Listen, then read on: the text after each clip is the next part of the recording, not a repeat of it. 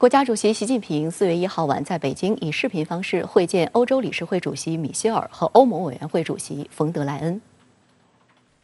习近平指出，八年前我访问欧盟总部，提出中国愿同欧洲一道，在亚欧大陆架起一座友谊和合作之桥，打造中欧和平、增长、改革、文明四大伙伴关系，建设更具全球影响力的中欧全面战略伙伴关系。中方的这一愿景至今未改变，当前形势下更有现实意义。当前新冠肺炎疫情尚在蔓延，世界经济复苏艰难曲折，乌克兰危机又接踵而来。在这种情况下，中欧作为全球两大力量、两大市场、两大文明，应该就中欧关系和事关全球和平与发展的重大问题加强沟通，发挥建设性作用，为动荡的世界局势提供一些稳定因素。习近平强调，去年以来，中欧关系在挑战中实现新发展，中欧合作在困难中取得新成果。事实证明，中欧有着广泛共同利益和深厚合作基础，只有合作协调，才能解决问题、应对挑战。中方对欧政策保持稳定连贯，希望欧方形成自主的对华认知，奉行自主的对华政策，同中方一道，共同推动中欧关系行稳致远。国务院总理李克强周五在京以视频方式同欧洲理事会主席米歇尔、欧盟委员会主席冯德莱恩共同主持第二十三次中国欧盟领导人会晤。分析认为，加强中欧合作将给不安宁的世界注入稳定因素。李克强表示，一个稳定的中欧关系对世界的和平稳定发展至关重要。中方愿同欧方增进理解和互信，加强对话沟通，深化务实合作，妥处矛盾分歧，为世界和平与发展作出共同努力和贡献。分析认为，加强中欧合作将给不安宁的世界注入稳定因素。李克强强调，当前形势下，对话合作仍然是中欧关系的主导面，互利共赢仍然是中欧合作的主基调。建议双方依托现有对话机制，加强重点领域政策协调，打造合作新亮点，共同维护能源粮食安全和产业链供应链稳定，应对风险挑战，助力世界经济可持续复苏。李克强指出，改革开放是中国的基本国策，希望中欧坚持双向开放，不断扩大市场准入，维护公平竞争，打造良好营商环境，推动贸易和投资自由化便利化。米歇尔和冯德莱恩表示，中国和欧盟都是多边体系的重要成员，中国是重要的利益攸关方，双方应加强对话，深化合作，坚持多边主义，确保世界和平稳定，共同应对全球性挑战。欧方介绍了对当前乌克兰局势的看法和立场。李克强阐述了中方原则立场，强调中方始终奉行独立自主的和平外交政策，主张遵守联合国宪章宗旨和原则，维护国际法和公认的国际关系基本准则，包括各国主权、领土完整，通过对话谈判解决矛盾和冲突。尽管受到新冠疫情影响，中欧贸易仍呈现强大韧性和活力。中国自2020年取代美国成为欧盟第一大贸易伙伴，欧盟是中国第二大贸易伙伴。2021年，中欧贸易额首次突破八千亿美元，同比增长百分之二十七点五，创历史新高。中国海关总署数据显示，今年前两个月，欧盟超过东盟，成为中国第一大贸易伙伴，进出口贸易额超一千三百七十一亿美元，同比增长百分之十四点八。中国商务部发言人三月十七号对此表示，这一情况是季节性的还是趋势性的，还有待进一步观察。但无论如何，这都反映出中欧贸易较强的韧性和活力。值得注意的是，中欧班列也不断跑出加速度。二零二一年，中欧班列开行量和货运量再创历史新高。全年开行一点五万列，运送一百四十六万标箱，比上年分别增长百分之二十二和百分之二十九，为促进世界经济复苏增添强劲动力。从质上看，中欧贸易结构不断优化，航空航天、生物、光电、电子等领域贸易增长显著，经贸交流不断深入，中欧经贸高层对话等各层级交流机制持续发挥作用，地方和企业合作平台更加完善。中国欧盟商会去年发布的二零二一年商业信心调查报告，约一半受访的欧洲企业表示，他们在中国的利润率高于全球平均水平。百分之六十受访企业计划扩大在华业务。那么从这些数字里边呢，咱们就能看出来，就是尽管现在中欧贸易啊，呃，这和这个中欧合作乃至于中欧关系呢存在着一些问题，呃，但是大局呢是合作，大局是向好的。中欧关系去年经历不同寻常的挫折，导致中欧全面投资协定进程停滞。但欧洲理性人士并不希望对抗和竞争成为中欧关系的主流，进而挤压合作空间，破坏对话氛围。中欧关系今年出现缓和迹象。欧盟委员会副主席先前宣布此次会晤时称，希望缓和双方日益加剧的紧张关系，并提到中欧投资协定需要在最高政治层面解决，显示欧盟态度逐步松动。中国对此也作出积极回应。三月初，中国外交部副部长乐玉成同欧盟对外行动署秘书长萨尼诺视频会晤。本周二，中国国务委员兼外长王毅同欧盟外交与安全政策高级代表博雷利举行视频会见。当前国际形势动荡加剧，不确定性明显上升。中欧作为两大全球力量，保持战略沟通，增进战略互信，拓展合作共识，有助于推动中欧关系持续健康发展，也为国际局势注入稳定性和正能量。周四，中国驻欧盟使团临时代办王洪坚公使在多家中外媒体发表署名文章，加强中欧合作，给不安宁的世界注入稳定因素。文章表示，中欧有分歧，但共识远大于分歧，合作远多于竞争。我们始终认为，中欧是全面战略伙伴，而不应是制度性对手。这是中欧双方应该长期坚持的基本相互认知。中方几十年来始终从战略高度看待中欧关系，始终支持欧洲一体化进程，支持欧盟团结繁荣，支持欧盟战略自主。我们也希望欧盟坚持独立客观的对华认知，跳出对华三重定位的思维定式，奉行务实积极的对华政策。观察认为，作为中国与欧盟之间最高层次的双边对话机制，今年的中欧领导人会晤显得尤其重要，因为它处于关键的历史时刻，涉及相当多的利益。而持续发酵的乌克兰危机进一步体现了此次峰会的紧迫性。中国国际问题研究院助理研究员张贝撰文指出，即将举行的此次峰会应当实现至少以下方面的目标：一是管理乌克兰冲突对中欧关系的影响，防止此次危机损害中欧关系；二是提升中欧关系的稳定性，开展旨在缩小分歧的对话。三是中国和欧洲应当坚定反对一切形式的新冷战。乌克兰危机加剧了脱钩和群体政治的风险，中欧更需要肩负起预防新冷战的共同责任。冲突升级对欧洲来说无疑是灾难性的。那么，呃，这种这个呃出发点的呃上边呢，呃，咱们中国跟欧洲其实是有共同性的。那么双方呢，就是以这个共同性为基础。啊，我觉得那什么事情都可以谈，就是只要是有利于呃停止战争、呃恢复和平的啊这些事情呢，我觉得啊都可以做，中欧之间都可以合作。值得警惕的是，美国参议院外交关系委员会前高级职员克利福德·克雷科夫直言，华盛顿鹰派正寻求以新的形式延续冷战。这种新冷战一如既往地意在遏制欧亚大陆及俄罗斯和中国。目前，鹰派主导的华盛顿不希望看到中欧关系改善。美国的政策旨在干扰中欧关系，目标是遏制中国。欧盟被要求与美国政策保持同步的压力越来越大。乌克兰危机只是一个例子。国务委员兼外交部长王毅周四在回答记者提问时，阐明了中国在乌克兰问题上的五个坚持，包括坚持劝和促谈正确方向，坚持捍卫国际关系基本准则，坚持防止冷战思维回潮，坚持维护各国正当权益，以及坚持巩固亚太和平稳定。中方一直以自己的方式为缓解局势、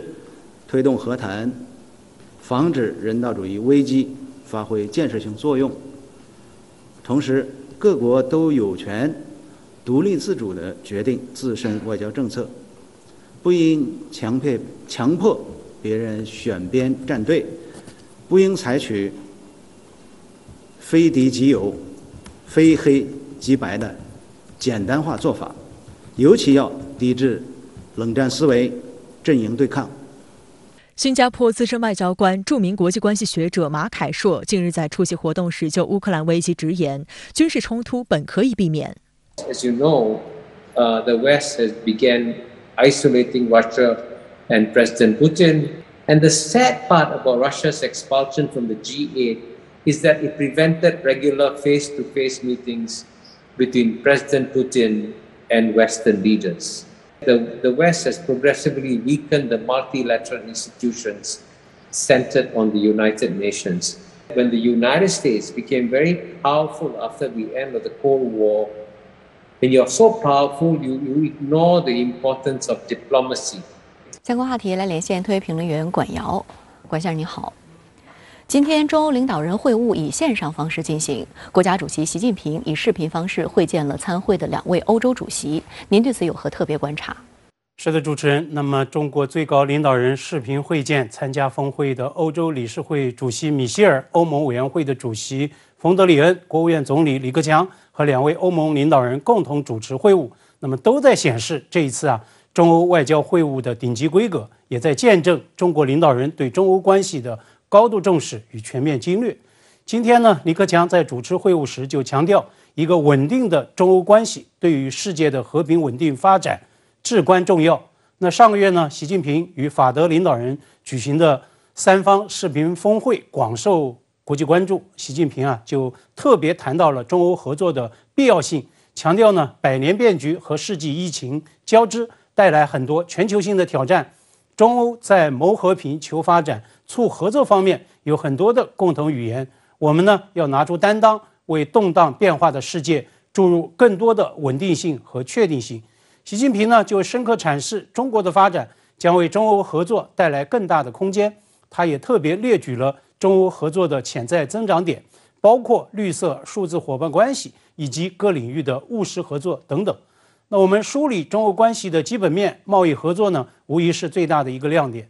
所以啊，王毅国委兼外长在两会记者会上回应西班牙埃菲社的记者提问，谈到中欧关系时呢，他也强调说，中方始终是从战略和长远的角度来看待中欧关系，中国的对欧政策保持稳定坚韧。不因一时一事而改变。王毅呢也特别谈到，中欧下一步呢就是要办好这一次会晤，强调呢这是重要的政治议程，要以此来加强中欧的战略对接，拓展务实合作，推进多边协调，妥善管控分歧，携起手来，共同为世界多做一些实事和好事。事实上呢，海外媒体对这次峰会啊也是相当关注的。今天呢，香港南华早报网站就强调这是迟来的峰会。媒体关注背后，很大程度上恐怕也是期待这次会晤它所推动的实事与好事能够落地落实。这也正是中国最高领导人强调，给动荡变化的世界带来更多确定性和稳定性的具体的体现。李克强今天在谈到中欧关系时强调，中欧要妥处矛盾分歧。那么在此领域，中欧高层互动又传递出哪些信息呢？李克强在会晤中的表述非常坦率，这呢实际上也是中国高层对发展中欧关系的一贯的既定的立场。对这次迟来的领导人会晤，欧洲方面已经提前释放消息，双方不会发布会晤声明。一定程度上，我想这恐怕也是中欧矛盾分歧的体现。王毅上月在两会记者会上表述。希望中欧能够携起手来，共同为世界多做一些实事和好事。但是呢，他的前一句话恰恰是妥善管控分歧，我认为这是很有深意的。如果不能够妥处矛盾分歧，那么中欧恐怕很难携手，更不要提办动荡世界所期待的实事与好事了。我前面分析，经贸合作是中欧双边关系的很大亮点，这是互利共赢，甚至是多赢的大好事。但是，中欧合作潜能是不是已经全部释放了呢？我认为答案是否定的。今天啊，李克强在会晤中也特别谈到，改革开放是中国的基本国策，希望中欧坚持双向开放，不断开放市场准入，维护公平竞争，推动贸易投资自由化便利化。但是呢，中欧经过多年多轮艰苦谈判，并最终签字达成的，也被普遍看作是推动贸易投资。自由化、便利化重器的中欧投资协定，恰恰是在欧洲层面呢被搁置了。那这个局面到底是如何造成的呢？今天啊，英国《经济学人》杂志分析说，欧洲方面之所以冻结协议，是因为中方对部分欧洲议员以及欧洲的外交官进行了全面制裁，应刊称之为 “sweeping sanctions”。那么，应刊说，欧盟多个成员国都已经放话了，在中方制裁取消之前。已经签字的中欧投资协定不会解冻，但是呢，在我看来，外界更加呢有理由来追问欧洲这些个议员、这些个外交官，他们为什么会成为中方的制裁对象呢？实际上，中方行动更准确的一个说法是精准有力的反制制裁，是对自身核心利益的坚定捍卫。因为呢，欧方这些个制裁的对象，恰恰都是在所谓涉疆涉港问题上，所谓对华制裁闹剧的策动者与实施者。王毅说，希望欧洲能够形成更为客观独立的对华认知，奉行务实积极的对华政策。我想，这恐怕是中欧妥处矛盾分歧的。关键所在，乌克兰危机也是这次会晤的一个焦点议程。欧方会前不断向媒体放风喊话，这又意味着什么呢？欧方在这一次领导人会晤前释放的最主要的信息，用法新社昨天发自北京的电稿标题来总结，就是 “EU to seek China rethink over Russia tires”。欧盟方面寻求中方重新评估对俄关系，也因此呢，英国经济学人杂志今天甚至在前瞻分析时。副标题用了这么一个夸张说法：“Get ready for tense summit。”所谓准备迎来一场紧张的峰会。中国在乌克兰危机上的立场，包括中国作为负责任大国劝和促谈的一系列的主动作为、积极作为。中国最高领导人此前呢，在中法德三方视频峰会中已经阐述的非常全面、非常深刻。国家关系不能走到兵戎相向这一步。冲突对抗不符合任何人的利益，和平安全才是国际社会最应该珍惜的财富。习近平特别指出了四个应该，那么各国主权、领土完整都应该得到尊重，联合国宪章宗旨和原则都应该得到遵守，各国合理安全关切都应该得到重视，一切有利于和平解决危机的努力都应该得到支持。那么，习近平就强调，解决乌克兰危机的当务之急。是避免紧张局势升级甚至失控。那么中方言行是高度一致的。自乌克兰危机爆发以来，中方劝和促谈的多方努力，甚至是创造性努力，一直没有停止。比如呢，海内外媒体都普遍注意到，刚刚在安徽屯溪落幕的阿富汗周边国家外长会出现了这样一幕：美俄的与会代表坐到了一起，举行了中美俄加的磋商会晤。那么这是乌克兰危机爆发之后。美俄官方代表非常罕见、非常难得的面对面，那么这样一个机会，当然就是中方多多边的外交平台来主动创造的。所以啊，我说这是中方劝和促谈的创造性的努力。当然了，欧方就乌克兰危机对华释放所谓的强硬信息，不排除有外力因素在干扰。我认为这恰恰是王毅希望欧洲能够形成更加客观独立的对华认知的生意所在。欧洲的大国领导人，包括法国总统马克龙，包括刚刚隐退的德国前总理默克尔，他们不都在反复强调欧洲自身的独立性吗？美国为什么要发起推动和欧洲方面开所谓中国专题会？而且呢，这样一个会晤已经机制化了，这不就是要在外部来施压敲打欧洲吗？欧洲媒体也在爆料，美国总统拜登上周在访问欧洲期间，特别呢在参加三场峰会的间隙。和欧洲方面开了有关乌克兰危机的闭门会，美欧协调对华立场，甚至进一步对华施压的这个调子，很可能就是在这次会议上再次确认了。好的，也谢谢管先生跟我们共同在线分享您的观点，谢谢。继续关注俄乌局势。周二，俄罗斯和乌克兰代表团在土耳其伊斯坦布尔举行面对面谈判，双方在谈判中传递出积极信息。有乌克兰谈判代表团成员表示，双方将于周五恢复线上谈判。俄外长拉夫罗夫周二也表示，俄乌谈判继续进行，虽尚未达成最终协议，但已经取得进展，包括在乌克兰的不结盟地位问题上。另一方面，双方的军事冲突仍在继续。俄国防部确认，乌克兰首都外围的部队撤走后，将会重新部署在其他地区，特别是东部顿巴斯地区。据乌克兰通讯社报道，俄乌谈判乌方代表团成员、乌克兰人民公仆党议会党团主席阿拉哈米亚当地时间周四在社交媒体上表示，双方谈判将于周五以视频方式恢复。一周后，两国代表团将制定更加详细的条约草案。他还说，乌方日前在伊斯坦布尔谈判中提出举行乌俄两国领导人会面的建议，俄代表团回应称需首先达成协议草案。俄罗斯总统新闻秘书佩斯科夫当天表示，应首先完成有关和平协议的文本工作，由双方高级别官员草签，在此之后才能谈及俄乌最高级别会晤。土耳其外长恰武什奥卢同日也表示，他正在和俄乌外长分别接触，努力让两国外长再次会面。双方均表示，一旦准备就绪，愿意来土耳其再次会谈，但是具体日期目前无法确定，可能会在一周或两周内。恰午十二路还表示，土方的最终目标是促成俄乌两国领导人面对面的会晤。虽然说这个谈判，呃，之前的这一轮谈判呢，确实是取得了比较大的进展，但是实际上要呃取得进展跟落实进展还是有比较大的差距的啊，因为毕竟，呃，双方对于一些关键的问题，尤其是领土的问题，现在还没有一个明确的呃这个安排，呃，包括现在也不是说俄罗斯全面撤军了，因为现在还是在东部还有保持一定的军事压力，所以说还是距离两国元首会面可能还要一定的时间。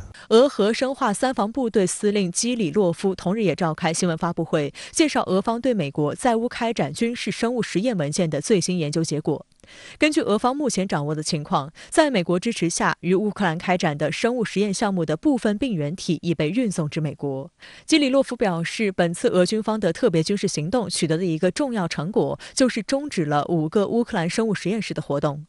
俄国防部还公布了美国总统拜登之子亨特·拜登与美国国防部减少威胁局员工、五角大楼以及在乌克兰的承包商的部分通信文件，证实拜登之子参与美在乌克兰的生物实验项目。The contents of the letter show that Hunter Biden played an important role in creating a financial opportunity for pathogen work in Ukraine. The published correspondence indicates that the true goals of the Pentagon in Ukraine are far from scientific. In one of the letters, the vice president of Meta Biota notes that the company's activities will be aimed at ensuring, quote, the cultural and economic independence of Ukraine from Russia. 从这个呃冷战结束之后，就是乌克兰独立之后，实际上美国 就在不仅是在乌克兰，在俄罗斯周边的这些前苏联国家，呃都有这些经营。那么也正是通过了这次俄乌的冲突，才把这些很多的问题暴露出来。实际上，美国在呃这些国家经营的比我们想象的要深。俄罗斯对乌克兰发动特别军事行动以来，美西方国家加大对俄制裁力度，甚至祭出 SWIFT 这样的金融核弹，迫使俄罗斯展开卢布保卫战。俄罗斯总统普京周四签署一项法令，规定不友好国家的公司与俄罗斯进行天然气交易必须使用卢布支付。法令于周五正式生效。面对俄罗斯放出杀手锏，德法等对俄能源高度依赖的欧洲国家该怎么办？欧洲乃至世界能源市场会因此激烈震荡吗？来看看报道。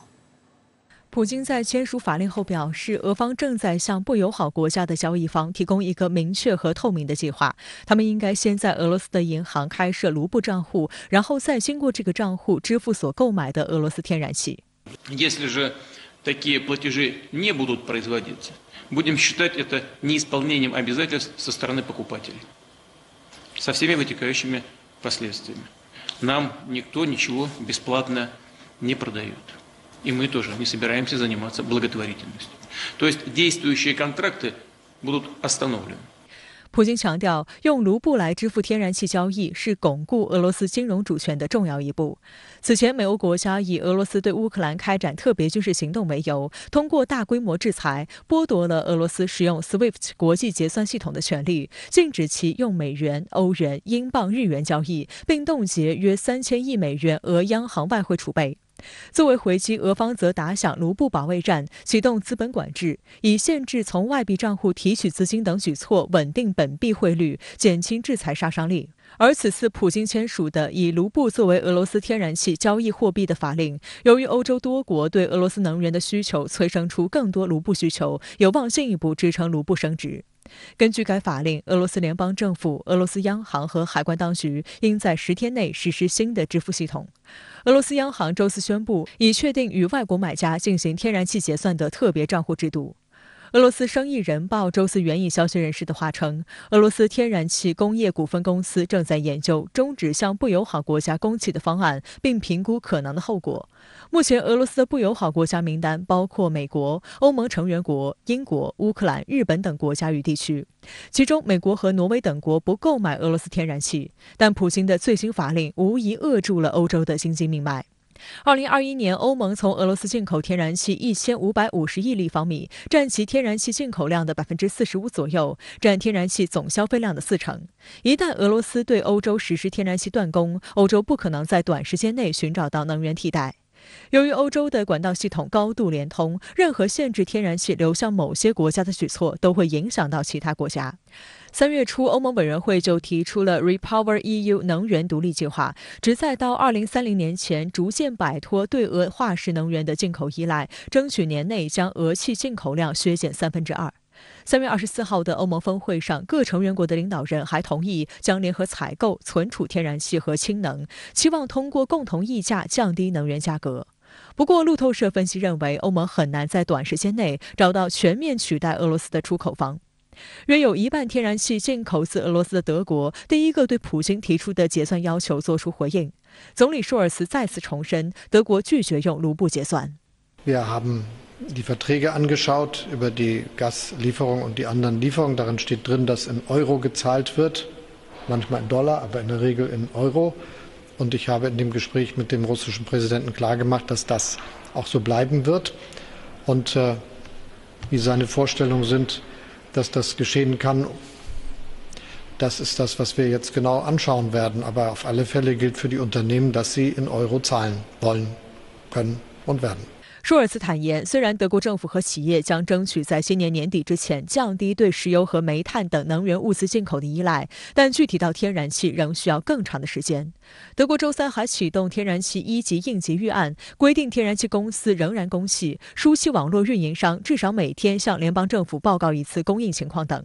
一旦天然气供应形势恶化升级，德国政府将出手干预。措施包括分配国内供气，家庭、医院和重要机构优先用气。而对俄天然气依赖没有那么大的法国，周四对俄方举动表示明确反对的同时，还强调准备应对俄罗斯停止对欧天然气供应的可能性。数据显示，法国仅有约百分之二十的天然气从俄罗斯进口，受到的影响可能将远小于德国和一些中欧国家。但法国能源价格也在上涨，并推高通货膨胀。同时，法国电力公司的核电产量处于历史低位，法国的总体能源状况也面临挑战。接下来呀。欧洲内部呢会出现一定的分化，呃，有一些对俄罗斯的天然气包括石油依赖过高的国家呢，我我相信呢他们会不得不啊接受卢布结算的方式，但是另外一些啊大国认定啊不能再依赖俄罗斯的天然气的话，那就要想办法去拓宽它的这个能源来源渠道，呃，尤其是加强对液化天然气啊短期的这个进口，会加剧国际能源市场的这种竞争。所以短期内啊，国际能源市场价格的上涨啊，应该是难以避免。尽管美国总统拜登上周访欧期间与欧盟签署卖气大单，根据合约内容，美国及伙伴国今年将努力向欧洲增供一百五十亿立方米液化天然气，至少到二零三零年，美国每年将增供五百亿立方米液化天然气。但分析认为，美液化气对欧洲来说杯水车薪，而放弃实惠的俄能源，转而购买高价的美国天然气，欧洲显然要掏更多钱。为应对油价上涨，美国白宫周四发表声明称，美国将尽一切努力鼓励国内石油生产。此外，在与盟国和伙伴国协商后，总统拜登将宣布历史上最大规模的石油储备释放。在接下来的六个月里，美国将平均每天在市场上增加释放一百万桶石油储备，以应对油价上涨。无论是美国现在提出来的。呃，每天一百万桶的石油，还是之前提出来的每年一百呃一百亿立方米的天然气，实际上都更多的是一种象征性的姿态，因为它不无法从根本上缓解目前欧洲啊对俄罗斯这个采取进一步的能源反制裁所带来的。呃，一系列的困境。此外，正在印度进行访问的俄罗斯外长拉夫罗夫周五同印度外长苏杰生举行会谈，如何绕开西方对俄金融制裁，讨论俄向印度出售原油问题，并制定一套适用于石油等商品的卢比卢布计价支付方式是核心议题之一。Now, as far as I understand, the respective members of our governments. Uh, discuss the dates for the next meeting of the Intergovernmental Commission on Economic uh, Cooperation. We continue to implement projects in the areas of energy, science and technology, outer space, uh, pharmaceutical industry. 英国《卫报》在社论中指出，实际上俄罗斯对世界的意义远超其作为全球第十一大经济体的地位。如今，俄罗斯重新定位，将对欧美的石油、天然气和煤炭出口转向亚洲，将给西方造成巨大经济冲击。我想，这种转向呢，也不会很快发生，因为我们知道，这个俄罗斯啊，它要摆脱。传统的欧洲的买方市场向亚太转移呢，它还面临着一些实际的困难，呃，包括它的一些合同的履行的能力。趋势已经存在，但是呢，我觉得接下来啊，还是要看一些因素的作用，尤其是目前的俄乌冲突啊，最后究竟以什么什么样的方式收场？我觉得这个呢，是影响未来俄罗斯它的能源格局，包括整个国际能源市场变化的一个决定性的因素。相关话题来连线特约评论员刘和平，刘先生您好。俄罗斯总统普京签署法令，规定自今天起，凡是对俄罗斯不友好国家和地区，必须以卢布结算天然气交易。您对此如何解读？普京为什么敢于冒着杀敌八百、自损一千的风险，甚至是不惜冒着被欧洲国家指责为功能撕毁、俄欧能源协议的风险，也要咬牙这样做？甚至还准备将以卢布结算的方式，进一步推广到其他出口的大宗商品上面呢？我认为这背后的原因可以用四个字来概括：形势所迫。当前的俄罗斯已经被西方国家逼到了绝路上，以至于不得不破釜沉舟、背水一战了。因为第一，自从俄罗俄乌冲突发生之后，在美俄发动的经济与金融战的战场上，都是西方国家在主动出击，而且是招招致命，不仅全面冻结了俄罗斯的外汇储备。而且连把俄罗斯剔除出是维夫系统这样的金融核弹都扔出来了。在这种情况下，俄罗斯要是再不出手反击，那就只能坐以待毙，被人家慢慢闷死了。第二，俄罗斯这样做是出于围魏救赵、抢救卢布的需要，因为在西方国家的强烈经济封锁与金融制裁之下，俄罗斯的卢布自从俄乌冲突发生以来。已经出现了暴跌，而以卢布来为俄罗斯的能源交易进行结算，不仅可以迫使欧洲国家不得不购买卢布，抬升卢布的价值，而且可以在一定程度上打击美元的霸权地位。那么第三，在俄乌冲突发生之后，欧盟已经制定了一项新的能源战略，也就是宣布要逐步摆脱对俄罗斯的能源依赖。而且今年内就会减少三分之二，到二零二四年就将完全停止从俄罗斯购买能源。这个也就意味着，能源牌本来是俄罗斯的强项，但欧盟已经反过来用它来打俄罗斯俄罗斯了。在这种情况下，俄罗斯显然就认为自己背水一战，或许还能迎来绝地求生的机会，因为被打痛了的欧盟或许会向俄罗斯做出妥协。我认为，正是因为这个几个原因，俄罗斯才不得不对欧盟扔出自己手上仅有的一个经济核弹，也就是能源牌。那您觉得，普京宣布凡是对俄罗斯不友好国家和地区必须以卢布结算天然气交易，又会对俄美欧三方的博弈态势产生什么样的影响呢？我认为，普京的这个决定可谓是正中了美国的下怀。美国梦寐以求的就是这一天的到来，因为美方认为，长期以来。欧盟之所以跟美国离心离德，不愿跟美国站在一起对抗俄罗斯，反而跟俄罗斯眉来眼去，甚至还想摆脱美国的控制，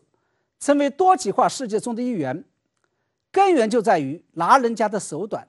在能源问题上太过于依赖俄罗斯。那么现在俄罗斯主动宣布，凡是对俄罗斯不友好国家和地区，必须与卢布结算天然气交易，那也就意味着。俄欧在能源贸易上已经基本上玩完了，甚至是整个俄欧关系都要吹灯熄火了。从此，不仅欧盟会义无反顾地一头扎进美国的怀抱，而且美国还将迎来填补欧盟能源缺口的绝佳机会。所以，我们看到，在普京做出这个决定的前一天，拜登政府立马宣布，不仅要将美国的石油和天然气产量提升到创纪录的水平。而且额外释放了一百万桶的石油战略储备。从中我们可以看出，俄方的这个决定虽然有不得不为的苦衷，但也在客观上造成了清痛筹快的效果，而欧盟无疑就成为了这场能源战与金融战的最大输家。他们不仅要花更加高昂的价格进口美国的能源，而且在短期内，来自美国的能源也是远水救不了近火，他们将面临着即时的能源短缺危机，并且进一步推高欧盟已经高不可攀的通胀率，甚至有可能诱发恶性通胀。但是，即便如此，他们也不得不哑巴吃黄连，咬着牙齿吞下这个苦果，因为对于他们来说，也是没有办法接受俄罗斯的要求，用卢布来结算俄能源交易。一旦这样做，就意味着整个西方对俄罗斯的经济与金融战基本上就破功了。而经济金融战的破功，也就意味着他们在安全上遏制俄罗斯、阻止俄乌冲突战略的失败。因此啊，为了所谓的安全，欧盟也只能豁出去了。而俄罗斯与西方经济全面脱钩，又将会给全世界带来两大风险：其一是俄罗斯与西方的经济脱钩危机，将会与疫情导致的供应链危机、超发货币导致的通胀危机相互叠加，并有可能形成一场全球性的金融海啸；其二是俄罗斯与西方的经济与金融战。因为俄乌军事冲突而引起，而经济与金融战的进一步升级，又有可能会使得俄乌冲突扩大化，变成俄罗斯与北约之间的全面战争。大家不要忘了，一九四一年日本偷袭珍珠港，就是因为美国对日本全面冻结资产，切断日本的能源贸易而诱发的。好的，也谢谢刘先生跟我们共同在线分享您的观点，谢谢。周四，美英两国政府分别发表所谓“香港政策报告”与“香港问题半年报告”，就香港国安法、司法独立、新闻自由等方面对香港特区政府作出不实和荒谬的指控，再次抹黑香港民主。对此，中方多部门密集发声，表示强烈谴责和反对。外交部发言人赵立坚强调，任何对香港国安法的攻击抹黑，都阻挡不了香港由乱转治、由治及兴的大事。邵立坚在回答深圳卫视记者提问时表示，英方不顾中方严正立场，再次发表所谓的“香港问题半年报告”，一如既往的歪曲事实、混淆视听，粗暴干涉香港事务和中国内政，严重违反国际法和国际关系基本准则。中方对此强烈谴责和坚决反对。赵立坚强调，任何对香港国安法的攻击抹黑，都阻挡不了香港由乱转治、由治及兴的大事。英方企图通过发表报告、操弄 BNO、施压法官离任等手段扰乱香港人心，这不可能得逞。英国对回归后的香港无主权、无治权、无监督权，也根本不存在所谓历史责任。英方反复拿中英联合声明说事，一年两度借所谓半年报告对香港事务指手画脚，充当所谓带引号的教师爷、复读机，这个也是带引号的。这种行径只会损害英方自身的形象，英方应该正视。香港已回归祖国近二十五年的现实，放下殖民心态，尊重中国主权和统一，停止干涉香港事务和中国内政，不要再给中英关系制造麻烦。针对英国政府发表所谓的“香港问题半年报告”，中国驻英国使馆发言人和香港特区政府发言人也分别作出回应，表示坚决反对外国通过各种报告做出不实和荒谬的指控。这其实是英国政府第五十份香港问题半年报告了，也不是第一次了哈。其实这是西方惯用的手法，就是乱中取利。第二个呢，也可以看到英国的帝国心态啊还是在，虽然已经是明日黄花，但是他看到香港从他手中离开以后越来越好。你看半年来啊，中央政府确实是出手果断。啊，那么在国安法实施下，我们坚持爱国者治港的原则，香港社会呢也是迅速恢复了稳定的秩序。他不甘心，所以他还是会指手画脚啊，而且呢也能够借机来推广自己的价值观。那么从国际形势看呢，在目前的世界格局下，中国是在决定国际形势天平上非常重要的一环，所以西方世界也不太允许这样的一股势力啊。不断的去增长，那么它也能够借机要削弱就削弱。除发布不实报告，英方还通过不同方式干涉香港事务。英国最高法院院长韦彦德周三宣布，他与副院长贺知义辞去香港终审法院海外非常任法官职务。英国外交部也发声明称，在当前局势下，英国法官不应该继续为香港司法机关服务。当天中午，英国首相约翰逊也发表了类似观点。深圳卫视注意到，早在去年香港完善选举制度、落实以爱国者治港原则后，英国政府便呼吁仍在香港司法体系任职的英籍法官集体辞职，以示抗议。韦彦德去年八月时仍表示，将与贺知义继续担任香港终审法院海外非常任法官。香港特区行政长官林郑月娥周四在记者会上质疑两名英籍法官辞任的动机和背后涉及的政治操作，并对英国政府官员、政客采取系列手段破坏香港独立司法系统感到十分可惜。他指出，辞职法官之一的贺知义是在香港国安法颁布后获得的任命，并于去年十一月首度来港参与审讯。如果贺知一认为国安法有问题，为何在国安法实施半年后仍会接受任命？此外，在两名法官辞职后，英国国会下议院、英国政府、英国外交部、英国首相等的一系列行动和表态，很难让人相信这不是一个政治操弄。所以呢一连串嘅事件係好難令人不懷疑。整件事係一個好政治鋪排嘅事件啊，亦都係好明顯呢，係有行政嘅機關呢，或者係誒政客啦，係想凌駕誒司法嘅機關啦，或者係干涉一啲法官嘅行為或者係決定。呢個嘅現象，我相信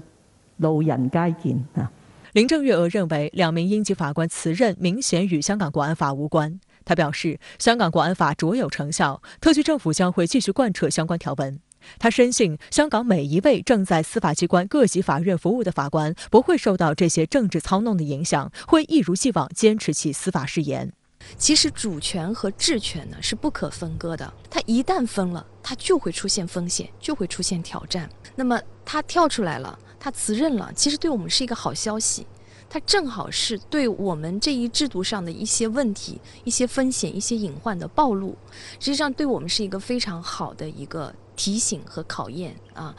也就是说，我们目前香港的这个司法制度上也有很多制度是需要完善的，如何让它真正的和我们的一国两制接轨？根据香港终审法院官方网站，两名英籍海外非常任法官辞任后，香港终审法院仍有十四名非常任法官，其中十人来自海外，包括六人来自英国，三人来自澳大利亚，另外一人来自加拿大。当中除了英国籍的八十四岁非常任法官化学家，据报可能因健康原因不续任外，其他九名海外非常任法官均表态将留任。据悉，香港非常任法官在编制上没有人数限制，过去均由终审法院首席法官和行政长官进行商讨，经司法人员推荐委员会推荐，特区立法会同意后，由特首行使委任权。基本法也允许香港终审法院邀请其他普通法区域的人士赴港担任非常任法官。其实，英国和香港之间它是有司法机构上互相委派的一个协议的，所以有一些现任法官。那么还有呢，个别的一些退休法官是独立的，他是不受任何的组织机构啊，或者是英国政府的干预的。那么他们辞任也好，他们留任也好，其实大部分人留任，正是证明了香港在国安法的指导下。啊，我们的司法制度其实是公正、有序、稳定的。另一方面，美国国务院周四也发布涉港报告，妄评中国中央政府治港政策，威胁香港作为全球金融中心的地位将继续受到影响。对此，外交部发言人赵立坚回应说：“香港是中国的特别行政区，香港事务属于中国内政，任何外国无权干涉。美方发表的有关报告无视事实，对香港事务说三道四，对中国中央政府和香港特区政府无端指责，中方对此强烈不满，坚决反对。美方应立即停止这一错误做法，在涉港问题上谨言慎行。”中方依法制定和实施香港国安法，完善香港选举制度，归根到底是为了维护香港繁荣稳定和一国两制。香港国安法打击的是极少数危害国家安全的犯罪分子，保护的是广大香港市民和外国在港公民的各项合法权利和自由。香港国安法实施以来，香港法治得到切实完善和更好保障，香港法治指数继续在全球名列全茅。前茅，外国投资者对香港的信心进一步增强，这是不容否认的客观事实。